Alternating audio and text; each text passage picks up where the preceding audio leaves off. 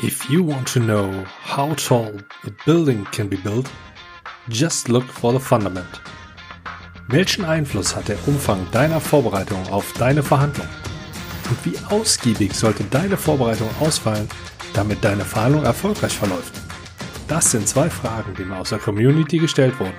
Und diese werde ich dir natürlich gerne beantworten. In dieser Episode des PR Podcast Besser verhandeln.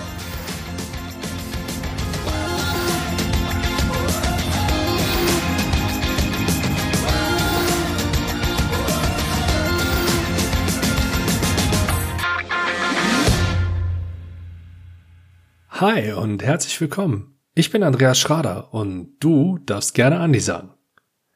Du kannst von diesem Podcast profitieren, wenn du mindestens einen meiner oder einen der Tipps der Menschen, mit denen ich den Blick über die Tischkante wage, mit in deine nächste Verhandlung einbaust.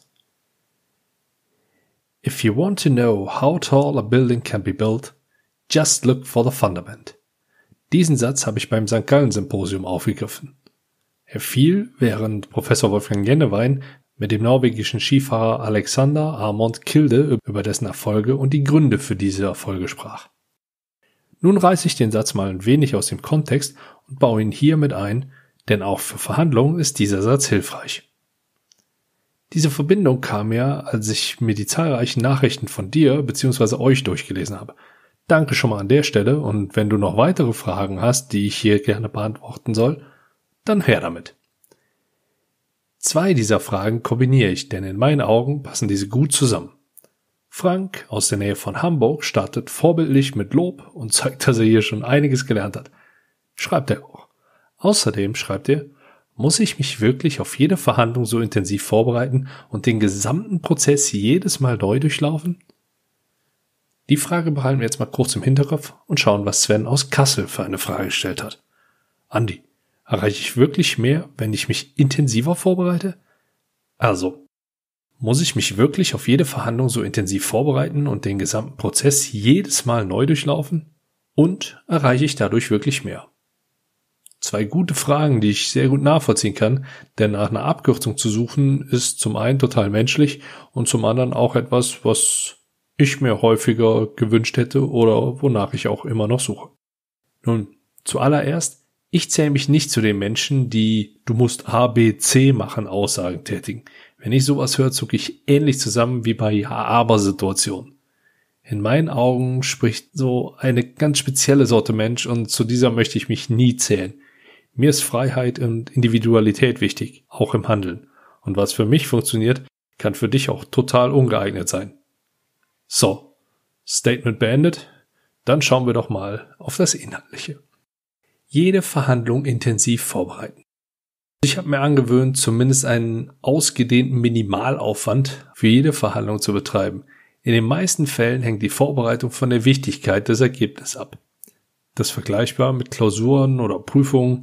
Für eine Abschlussprüfung, eine Klassenarbeit oder eine Klausur hast du wahrscheinlich anders geübt, also dich anders vorbereitet, als für einen Vokabeltest oder eine Zwischenprüfung. Beim Sport wärmst du dich für ein Training auch oft anders auf als für einen Wettkampf, oder? Und so kommen wir auch so ein bisschen zu If you want to know how tall a building can be built, just look for the fundament. Wenn du ein Haus baust, schaust du auch, dass dieses über ein entsprechendes Fundament verfügt. Jetzt bin ich ein bisschen geneigt, die Frage mit genau dieser klassischen Denkweise, wie auch ich sie überwiegend noch in mir trage, zu beantworten und zu schließen. Orientier dich einfach am Schwert eines Segelboots. Je höher der Mast, je tiefer das Schwert, damit es nicht kippt. Und dieses Bild hat mir auch bisher immer recht gut geholfen, das Ganze so zu, zu veranschaulichen. Ich habe mir eine Art Standardrepertoire an Forderungen zurechtgelegt, die ich schnell und individuell anpassen kann, brauche nur wenige Minuten, um meine Ziele für häufig wiederkehrende Verhandlungen zu definieren, verfolge eine feste Struktur bei meiner Agenda und auch mit Blick auf meine Anker kann ich sagen, dass ich dafür nennen wir sie mal Standardverhandlungen, ein gutes Kontingent habe. Wenn wir also davon ausgehen, dass es sich rein um die Vorbereitung für die finale Episode, wie sie Florian W. in seinem Buch Verhandlungsflow bezeichnet, dreht, dann kannst du so schon mal einen guten Grundstock für deine Vorbereitung legen. Oder lass es mich mal so ausdrücken. Es hilft dir sicher mehr, diesen Weg einzuschlagen, als dich rein auf deine Intuition zu verlassen. Zum anderen sitzt da gerade allerdings auch ein Engelchen auf meiner Schulter, welches mir mit sanfter Stimme sagt, Andi, wenn Sie es richtig angehen wollen, dann sollten Sie früher beginnen und Ihre Sichtweise ändern. Sag ihnen das. Und das Engelchen spricht wahre Worte. Verhandlungen nur auf die finale Episode zu reduzieren, ist ein Fehler. Verhandlungen sind ein Prozess, der flexibel und umfänglich ist und leider oder zum Glück, je nachdem, wer von wo aus gerade draufschaut, sehr komplex. Es geht bei deinem Markennamen los, zieht sich über deinen Auftritt bei Social Media, über deine Webpräsenz oder die Sauberkeit deiner Firmenwagen oder deinem Hintergrundbild bei Videocalls. Und ja, auch Aussagen, die in Podcasts getroffen werden, zahlen auf dein Verhandlungskonto ein. Das Image deines Arbeitsgebers, deiner Kunden und, und, und. Das mag jetzt irgendwie hart und vielleicht sogar widersprüchlich zu der einen oder anderen Aussage selbst von mir in meinem eigenen Podcast klingen. Doch es ist einfach falsch, sich nur auf das Finale zu konzentrieren. Diese Lanze breche ich jetzt hier einfach mal. So viel schon mal dazu. Ich bin selbst gerade in einer Situation in einer nahezu neuen Umgebung. In dieser Umgebung geht es weniger um Preise oder Geld, sondern um andere Faktoren. Macht, Einfluss, Reputation. Hier benötige ich eine sehr gute Vorbereitung und strategische Disziplin, wenn ich hier etwas bewegen möchte, zumindest so, wie ich es mir zum Ziel gesetzt habe. Die Positionierung sowie der Netzwerkaufbau sind hier zwei tragende, vielleicht sogar, ich nenne sie mal, spielentscheidende Elemente. Und genau das ist etwas, was auch für deine Verhandlungen wichtig ist. Deine Verhandlungen selbst die kurzfristigen oder die Standardverhandlungen, also die wiederkehrenden, werden von dem ganzen Prozess beeinflusst. Mir ist wichtig, dass du dir dessen bewusst bist. Deshalb erwähne ich das hier extra nochmal, auch in einer Deutlichkeit, wie ich es sonst vielleicht nicht immer so an den Tag gelegt habe.